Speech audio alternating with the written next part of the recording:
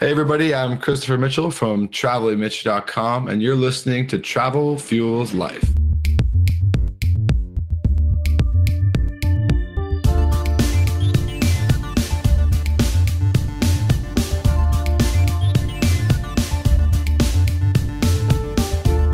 Hello, everybody, and welcome to Travel Fuels Life, the show where we share stories, tips, and inspiration to help you live a travel lifestyle. I'm your host, Drew Hannish, and this week I have a special guest on. Christopher Mitchell from travelingmitch.com is here. He is a writer and a freelance photographer. He is also the host of his very own podcast called Rick Steves Over Brunch, which is very interesting. He and his co host go over some of the episodes of Rick Steves' shows and give their own experiences from those. So, something for you to check out. And Christopher and I met in a strange way. We met on a bus going to Watkins Glen, New York. And so we had a nice little chat back and forth, and he was telling me all about his hometown of Toronto. And what really perked up my ears was when he started talking about his time as an expat in the country of Turkey. And there are some places that we sometimes hear a little bit unsettled, and so we wonder whether we really should go there or not.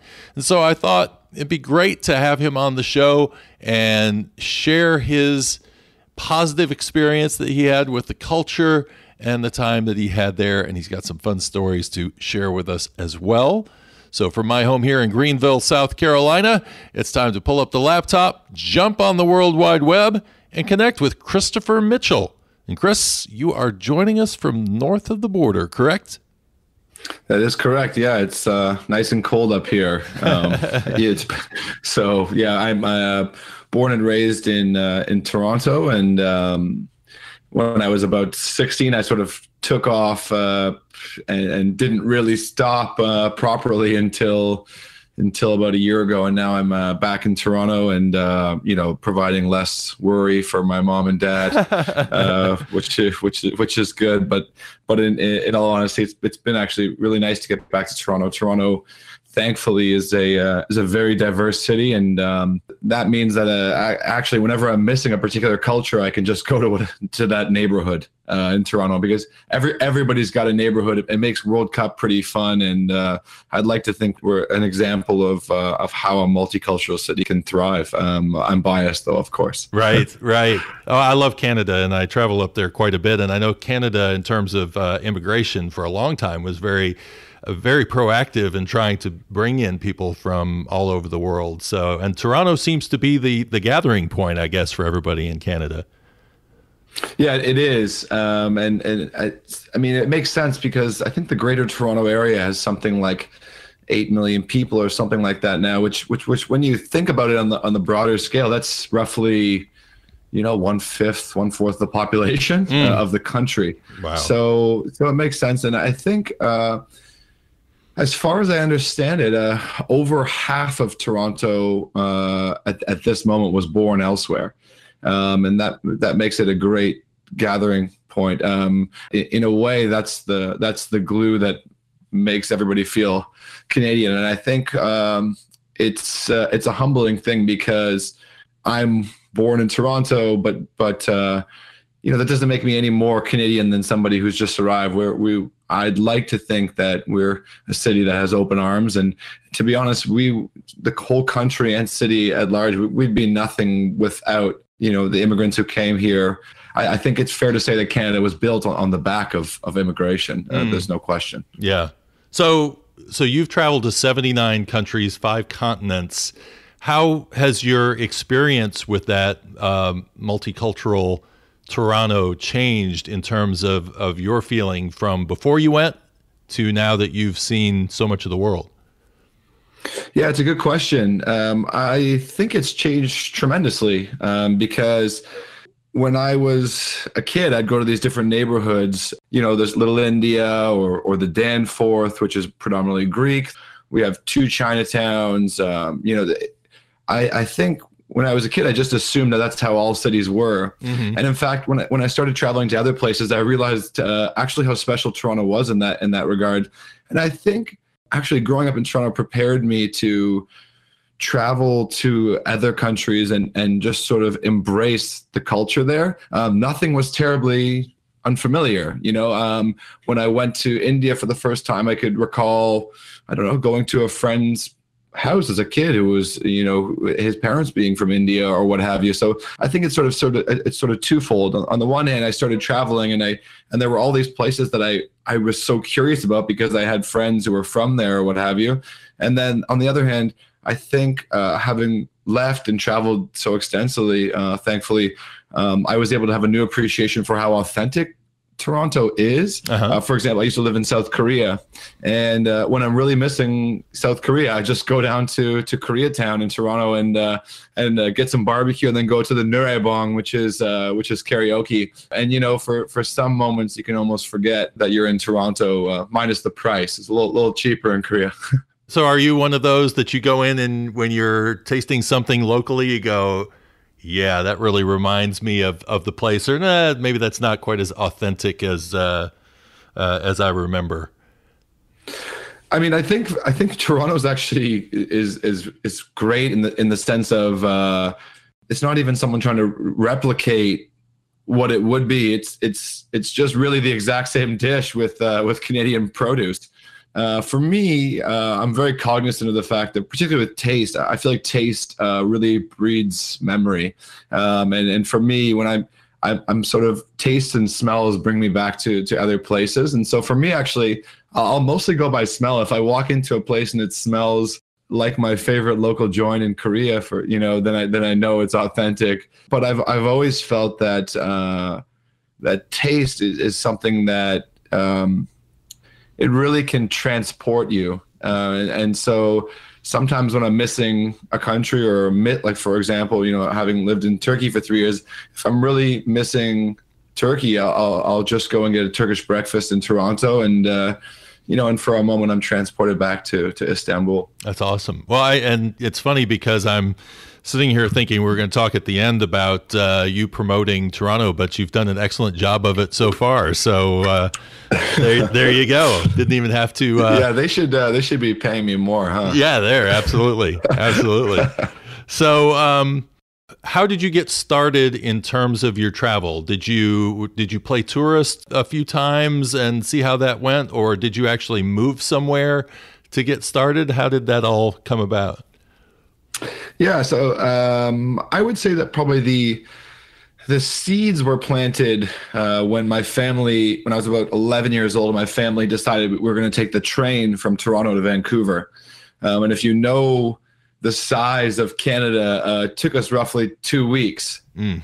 But I remember uh, looking out the window when we were going through the Rockies uh, and seeing those snow-capped mountains, and I thought to myself, if this exists in Canada, and I had lived in Canada my whole life, and I thought, what exists elsewhere? And uh, and so that planted a seed for me, uh, which I never really lost. And and actually, uh, when I was 16, I I actually spent a month in Ireland on my own, um, and I was doing a basically a writing program at Trinity College in Dublin, um, and I and I I realized kind of then and there that travel was going to play a tremendous role in my life because that childlike curiosity that I had when I was 11 years old, looking out the window, I've never lost it.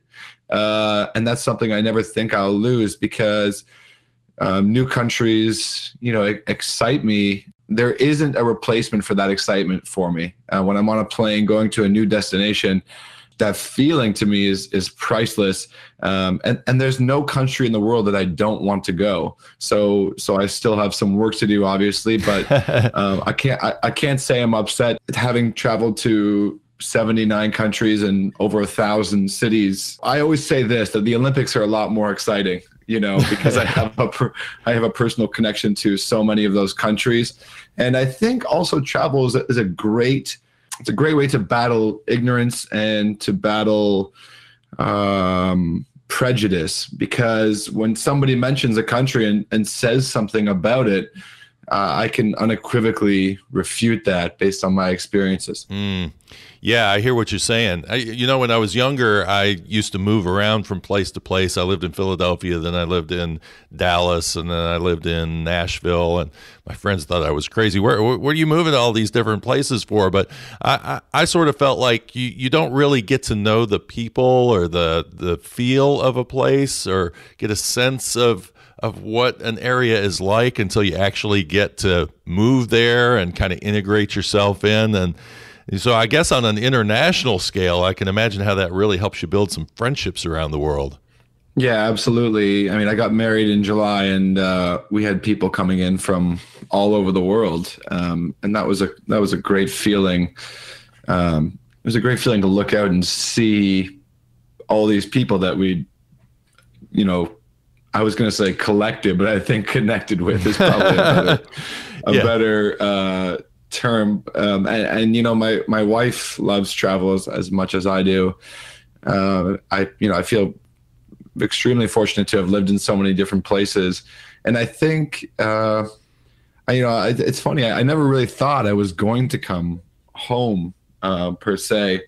And I think home to me is an ambiguous term, anyways, because I felt at home in Istanbul and Seoul and Oslo and Dublin and mm. you know wherever I was. I, I even you know lived it for a period of time in a town of four thousand called Pearl Lagoon in Nicaragua. So you know, I think for me, I don't know. I mean, I I I I just cognizant of the fact that I, I feel blessed to have a lot of people in my life from all around the world, and to to be able to have those stories uh, in my, in my heart. You know, it, it allows me to to share stories. I think with um, with some genuine love and, and, authenticity for the place that I'm writing about. Yeah. Now you mentioned Korea and Ireland. Was was Istanbul the place you lived the longest, or did you live somewhere else for a, a longer time? No, no. Istanbul was the longest, um, and I think that's I think that's why my love for Istanbul is so so deep. And and of course, uh, 2014 to 2017 in Istanbul was a uh, you know a tumultuous time. I, I think ha- having stuck it out for those three years mm-hmm. uh, and seen and seen so much. I mean, it's it's kind of like uh, there's I have a bond with that city and that country and the people of those country that's you know almost unbreakable at this point. And I, and I think regularly of Istanbul. Um, in, in fact, all all the time. You know, I think it's that's a city you know, where if you live there for three years, you're going to carry that experience with you everywhere. It's it's it's I, it's an imprint on my heart, you know. So so what drove you to uh, Turkey initially? Did somebody say, "Hey, you know, got a place for you to stay," or w- was it uh, a destination that you had had on your list for a long time?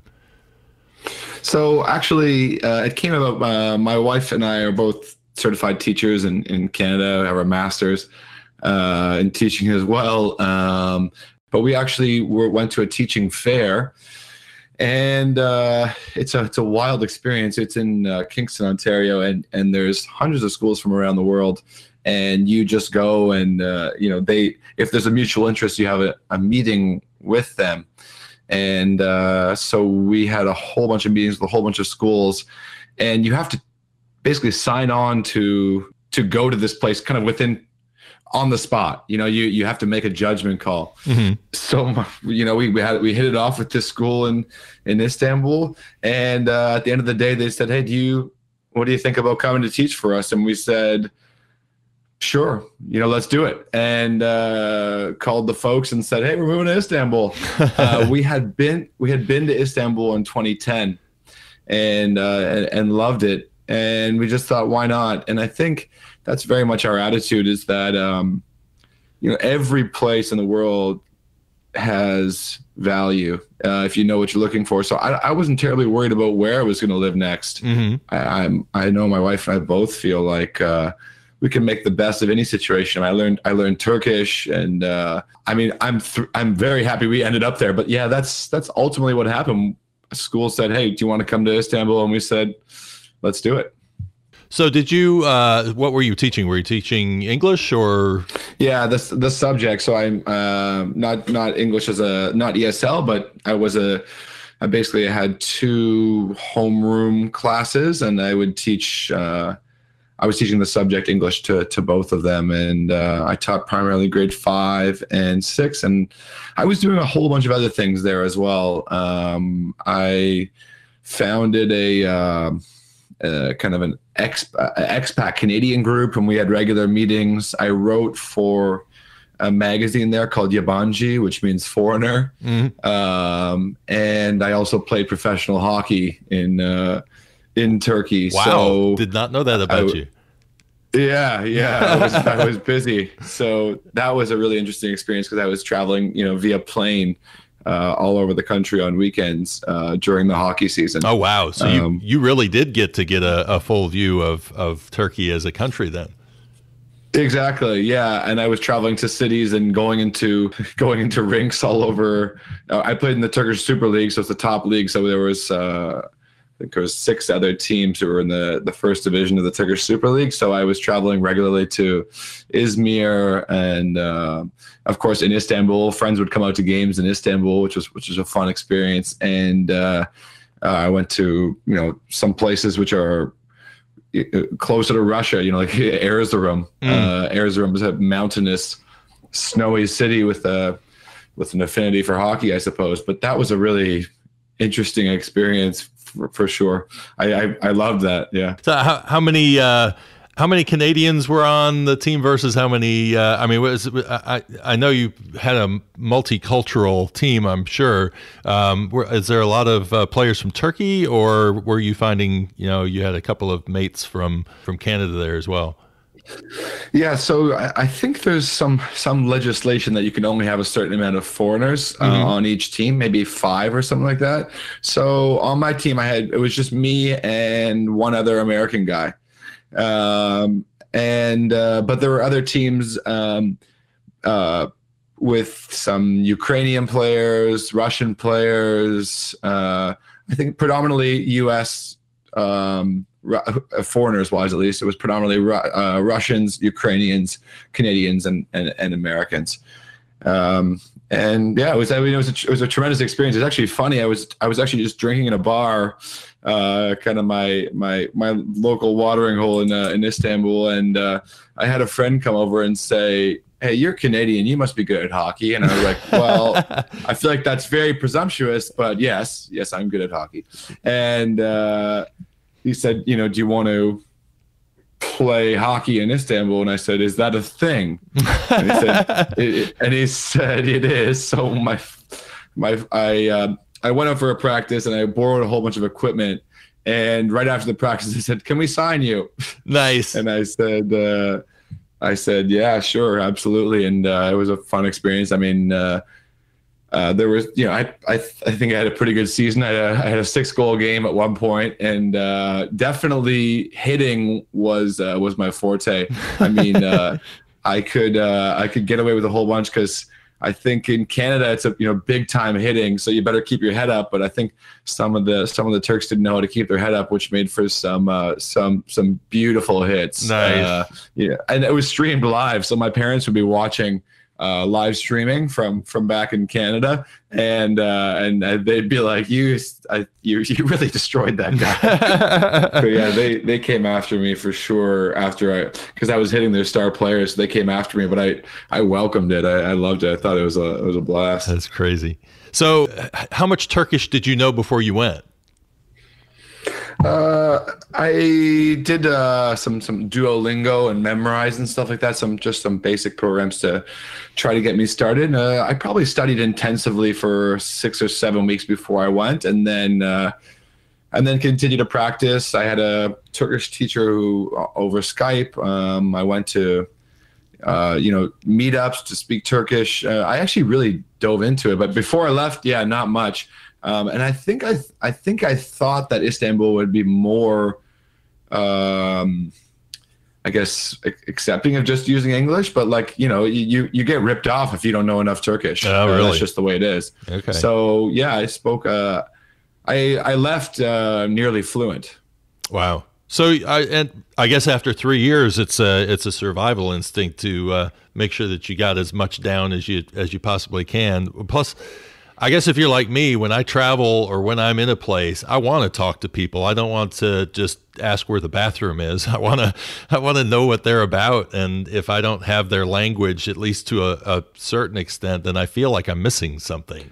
Yeah, and I, th- and I, I think that feeling is is actually totally warranted because, uh, you know, the experience. I mean, I don't want to. Uh, call out any of my friends who didn't put in you know the, the same effort as me but i think the relationships i was able to have with people in my in, in the community i mean i went to a uh, a barber in my area who spoke only turkish and you know how much more rich was that experience i mean it was a richer experience because I spoke Turkish to him all the time. And when I left after three years, and I, you know, I was able to sit down and be like, hey, you know, this is my last haircut with you, and uh, you know, basically tell him, you know, I got nothing but love for you. And he gave me a bottle of homemade Rakı, which is the national liquor. Mm. And, uh, and, you know, it was so funny because at first our haircuts would be 20 minutes, you know, I'm figuring out Turkish, this, that, and the other. And it was more expensive. And by the end, it was less expensive. The haircuts would take an hour, hour and a half because uh, we'd just be chatting. and, uh, and, and, and he, he'd always get me a, a little bit drunk off of a homemade homemade Rakı. So for me, you know, it went from something that was pragmatic. I needed to get my haircut to something which I genuinely looked forward to um, and uh, I think I, I, think I gave him a bottle of maple syrup or something before I left, like, like like a good Canadian. Yes, absolutely. Well, you could give him some Canadian whiskey, I guess, if you uh, if you want. yeah, but uh, yeah, exactly. So when you first got there, then I mean, when when traveling to to different cultures I've, I've heard people say, well, you know, it's better to probably not go in wearing blue jeans and looking like you're, uh, you know, American tourists when, when you go into the place. And after you've lived in Istanbul for a while and you're seeing tourists come in, what, what, what is your impression on a strategy that you should, uh, you should take when going um, to a place like that? Should you try to blend in a little bit more, or you, you feel like uh, um, you know it's it's fine, just be yourself, kind of thing? Yeah, it's a good question um, because uh, Istanbul is a place that's very difficult actually to travel to in the sense of uh, there's a lot of cabs will rip you off. There's a lot of people who rip you off. I mean, there's not a lot of written down prices in a lot of ways, so you'll you'll sort of get what's coming to you uh, if you're if you. Uh, my my biggest advice would be to learn a little bit of the language. Um, I think it's not even about having a command of the language as much as letting people know that you respect the country enough to learn a little bit. Mm. Uh, and that's kind of my feeling about it. Uh, I think I'll, I'll tell you this. I mean, I, having lived there for three years, I took great pride in how how uh, how I was able to navigate that city because it's a very difficult city to to navigate, and you know, it's a sort of city where you either find a way to to love it and and you thrive uh, because you give yourself to the city or the city will kind of eat you alive. I mean it's a city of it's uh, on an undocumented level probably about 20 million. Wow. Um, and so so i think you have to be prepared for that. Um, it depends what you're looking to accomplish there. I think you could probably stay in the old town and just go to touristy restaurants and have that experience but i would strongly recommend learning some turkish um, and coming in there prepared. I think Istanbul is a, is a it's a it is a, a difficult city in some way uh, for a tourist, but it's also deeply rewarding. So if if somebody wanted to take an exploratory trip around Turkey? What uh, besides in Istanbul? Like for me, I'm not I'm not huge on crowds. I definitely want to see Istanbul, but you know, getting out a little bit beyond uh, the the main touristy areas and finding some spots to go. Do you have some suggestions of places? Yeah, definitely. Um, I I think. I mean, first and foremost, I think it's worth it to go to check out a few things which are really emblematic of what Turkey's all about. Um, cities like Bodrum or you know Fethiye, Marmaris, or these sorts of places, uh, and Kaş, Alanya, etc. These are places which are on the shore and they really showcase the beauty of the the Mediterranean. Mm-hmm. I think history-wise, um, there's places like um, Ephesus, which is just incredible, ancient ruins, and and that um, I, I think if if I'm you know saying there's one thing that you need to see. Let's say you have two weeks and you're spending a predominant portion in istanbul and there's only one place to go. Um, for me 100% cappadocia. Mm. uh, cappadocia is uh, the, the main city there is called Göreme, mm-hmm. and um, it's an extraordinary place. Uh, there's you know what they call fairy chimneys and you can go um, you can go uh, hot air balloon riding and it's it's just phenomenal I think in general, Turkey just has no shortage of, of incredible places. Um, I mean, I even went to places which are kind of all Turkish, like Trabzon. I went to places like Çeşme, which are which are lovely towns. Um, I, I was lucky to spend a lot of time traveling around Turkey, and I think you you know I spent three years doing that, and mm-hmm. uh, and I would love to go back. There's more there's more that I haven't seen, but would love to see. There's there's one spot that I really like to go to because I do these James Bond trips, and so but this one is near Syria. So the question is, uh, getting that close to that area. Uh, Adana is the is the town. Have you been down in that area? No, I haven't. the uh, The closest I came to um, dealing with uh, James Bond stuff would be in in Istanbul, mm-hmm. um, in the oh my goodness, I forget what it's called. Uh, it's a basement with water in it. oh yeah, uh, yeah, oh my yeah. goodness. It's, I remember now. It's called the Basilica Cistern. Okay, um, and it's it's right across from uh, the Hagia Sophia and the and the and the Blue Mosque as well. Um, but it's a really it's a really cool spot.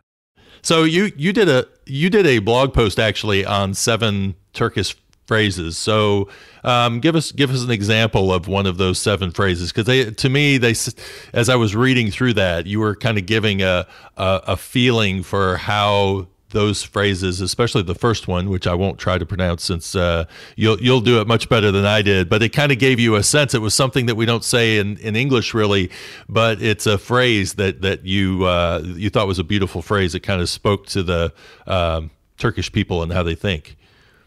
Yeah, and actually, I, I in that article, I was really trying to showcase phrases that we just didn't have in Toronto, and and, and that's why I said I think the article is something like you know I'll miss, I will miss it, and I think uh, yeah the first one's you know kolay gelsin, which you you know you you would say particularly at work, and you're just kind of telling someone you know I hope it comes it comes easily for you, and and I think the main one that I used would be inshallah, and of course that's uh if you separate it, it's it's it's a phrase you're talking to Allah. You know, it's it's it's religious, but it, it's become common where basically you're saying you make a comment.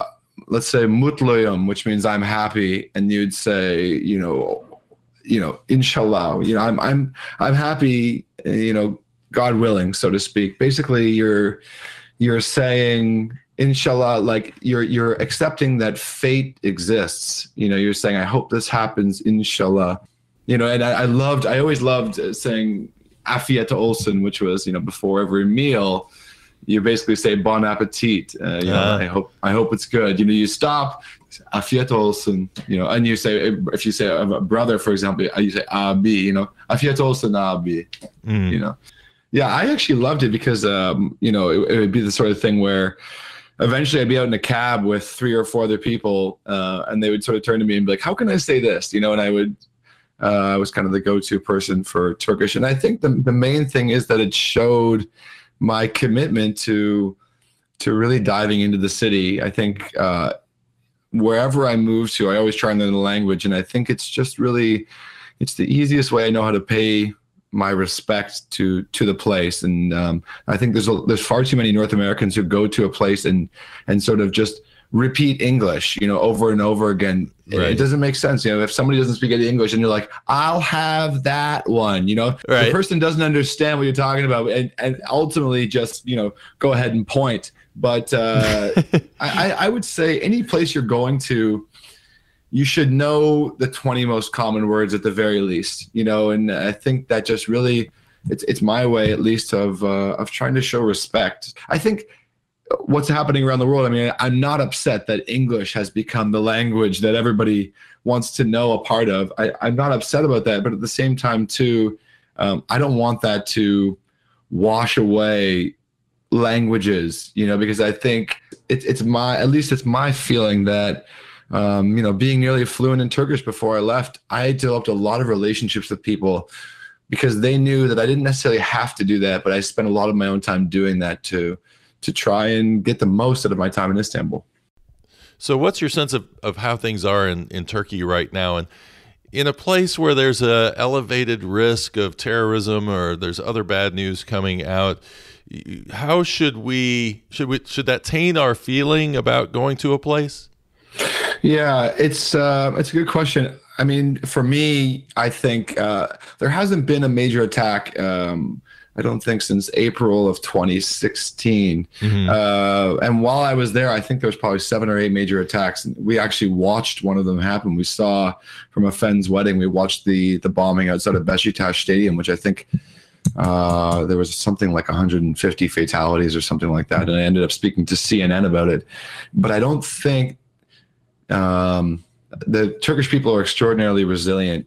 Um, and I think it's probably no surprise that uh, Erdogan, uh, once he had full power, uh, the bombing stopped. I'll mm. say that. I don't think that was a coincidence. Um, and not because he's particularly powerful. I think uh, I think some of those bombings helped him to put forth legislation. I mean, after the coup, he uh, he essentially, uh, I think he kicked something like or arrested 200,000 people. Wow. You know, including including my friend who was a Dutch journalist. Um, and uh, and that's allowed him to have control. And now that he has full control uh, of the of the country, I would I would say it's you know it's fine. It, I think it's fine to go there the other thing to remember too is when I was living in Istanbul, my brother was living in Sydney, Australia.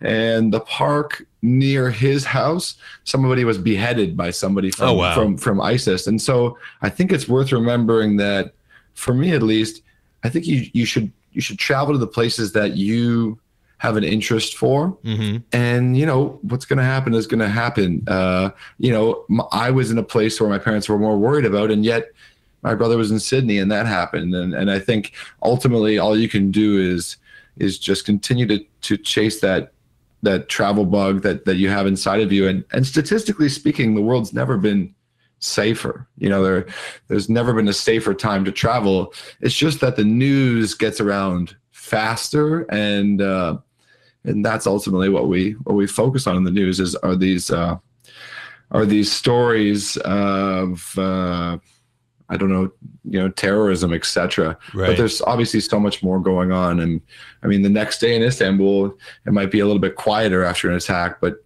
people kept living life. It was, it was I was, I, it was extraordinary. Uh, it, it's funny because maybe again, it's part of of your upbringing. You you came from a multicultural area. I came from, I grew up in Detroit. And so when when you've lived in a place that after you move away, you hear all these people saying, "Why would you go there?" and "Is it safe?" and all it, it, you suddenly start to realize that um, it's it's the information people are being fed, and they're getting one side of the story, but they're not really getting to experience the. Um, you know what it's actually like there and so people are holding themselves back from going to places that have a lot to offer yeah exactly and um, i always really appreciate the quote from aldous huxley you know the the author of brave new world who says that to travel is to discover that everyone is wrong about other countries and uh, and I think that's exactly it. I mean, that's why I'm so keen on travel because we all have formed a bias, and it's important to go and challenge that. And I think uh, former Prime Minister for Canada, uh, Pierre Elliott Trudeau, he said something along the lines of, "You've got to leave your homeland to thank God for having one in the first place." Mm. And I think that's true as well. I'm not sure I knew why I appreciated Canada or what made Toronto special until I went to enough other places to be able to contextualize my life here. Uh, and I think b- both of those things, both of those quotes, uh, are really things that I I think about pretty closely when it when it comes to travel. That's awesome. That's awesome. Well, I'm going to say this is probably a good time for us to uh, wrap things up. We got a little bit of Toronto in there, and uh, we got uh, Istanbul and, and all of Turkey. So we've, we covered quite a bit, I would say. Um, what, so, what's up next for traveling Mitch? I, I saw you twisting pretzels the other day. So, uh, what's your uh, what, what kind of stuff you got coming up? Yeah, so lots coming up. Um, I, I, also founded the Toronto Bloggers Collective. So we have an event next week. Uh, I had an event, yeah, this week with uh, with Germany Tourism. Um, I was just uh, in the Finger Lakes again last mm-hmm. weekend mm. for for Thanksgiving. The next major trip that I'm going away, I, am doing a lot of stuff around Ontario. Um, my my wife and I will be on the cover of um, hibernate in style insert in the Globe and Mail in rough within the month. Nice. Um, so doing a lot of stuff around Ontario in that regard. Uh, and January I'll be in New York City. I'm going to uh, Arizona in February, and yeah, lots lots of stuff on the on the horizon. But um, but I'm you know I'm last year I spent a lot of time abroad and. Uh, I'm trying to make sure I have a press trip uh, actually at the end of the month with uh, with Toronto tourism. So I'm trying to focus on what makes Toronto special and and as and, Ontario special. And uh, you know, Ontario, as far as I can remember, is roughly the size of 15 Ireland's. Wow. Yeah, when I was a kid, I just kind of thought, ah, Ontario, what's here? You know, and I, and I'm realizing that you know think about that for a second right if, if this is a, a this is a landmass that's 15 times a country which i think i could travel for a lifetime i mean what's what's what am I missing? And so that's that's what I've been writing about. That's what I've been trying to figure out. And uh, so that's what's on the horizon. Really, um, lots of things, and keeps me uh, keeps me fired up and excited to to travel. I think I took for granted the fact that I could be excited about travel around Ontario and Canada, um, and you know from traveling around the U.S. Uh, as well. It's it's I think going to anywhere new uh, really enriches your life. Absolutely. So, uh, so you and I are both into inspiring travel. So, where are uh, the places that people can go to be inspired by where you've traveled to? Yeah, so obviously my my blog uh, is more Ontario focused now, but I have tons of content on Asia, etc. You can go to travelingmitch.com um, and uh, all social media. Traveling Mitch, I always say one L because I'm Canadian, but uh, Traveling Mitch one L uh, on on all social media: Pinterest, Twitter, Instagram, Facebook. I'm active on all channels, you know, which is nice and time consuming. And um, uh, and if you want to see some of my writing kind of from uh, from different publications, etc. www.travelingmitch.com slash portfolio, and you can see all that I'm about. And uh, you know, hopefully, having listened to me here, you uh, you want to hear more about what I have to say, and you're not like, oh, I'm done with this guy. Uh, you know, but, oh, I, I, think we, you know, I'm I'm Sorry, go ahead. I, I was going to say, I think we've only uh, just scratched the surface of, uh, of of interest in terms of what you've done. So, um, yeah, yeah, yeah. I, I definitely appreciate you spending the time today, and I'll, I'll post uh, the links in our show notes as well, so uh, they can go out to travelfuelslife.com and uh, uh, be able to listen to the show there or uh, check out the show notes. And I'll see if I can get some extra links from you as well and make it easy for people to uh, connect with you and see what you're doing. It's a, a fascin- fascinating life that you've lived so far. So, uh, and it'll be fun watching you uh, progress as you uh, as you grow and. also learning more about Canada as, as we're seeing what you're doing in Toronto as well. So yeah, and Ontario at large, and I, I think uh, well, first, you know, I appreciate the kind words about about the stuff that I'm doing, and uh, you know, it's uh, it's humbling that people follow along and find my content useful. But you know, when I first started blogging, it was in 2010, and I was living in Norway, and and I was predominantly blogging to keep my parents off my back, you know, because they were asking what what I was up to, and I just say, hey, go to the most recent blog post, you know. But I think now I really see blogging as a as as creating itineraries and tools for other people to be comfortable traveling, and mm. it's kind of the same mission that you have with this podcast, which is giving giving people real opinions of uh, of what places are all about, and and sort of softening the blow so that they can feel comfortable going there. And and in the case of Ontario, it's really just uh, for people to see what was always in their backyard that they might not have been taking advantage of, but. Uh, you know, I'm happy. I know from getting, e- I mean, you can, everybody can email me at chris at travelingmitch.com, but I, my approach has always just been to be, to be honest and to be humble and to try and, uh, try and remember that, uh, you know, everybody knows something that I don't. And, uh, and I'm lucky to know the things that I do, but there's, there's so much more for me to learn. I mean, uh, I've seen 79 countries, but, uh, for me, uh, I think about the countries I, I haven't seen while while remembering that I'm fortunate to have seen so much. Nice. Well, good. Well, thank you very much, Chris. I want to wrap things up, and uh, I think we could turn this into a mini series if we wanted to. Uh, so much to yeah. talk about in terms of travel, and only so that's why we give out uh, travelingmitch.com, right? Because then they'll be able to uh, exactly. check out a little bit more of what's going on. Well, thank you very much, and I, I look forward to seeing much more of your content down the road. Yeah, for sure. Thanks so much to, uh, for having me on, and uh, you know anyone can feel free to reach out to me. I'm uh, I'm not too big to answer a message on any platform. All right, thanks, Chris, and I hope everybody got a great feel for the experience of a multicultural Toronto. I think when you're planning out your spring and summer travel plans, it's definitely a place you'll want to consider. Lots to do there, underground Toronto, and all the different multicultural neighborhoods that you can go visit. Sounds like a trip around the world without actually having to go around the world. I hope that was informative for you and that uh, you enjoyed the episode. And until next week, I wish you safe travels. I'm your host, Drew Hannish, and thanks for listening to Travel Fuels Life.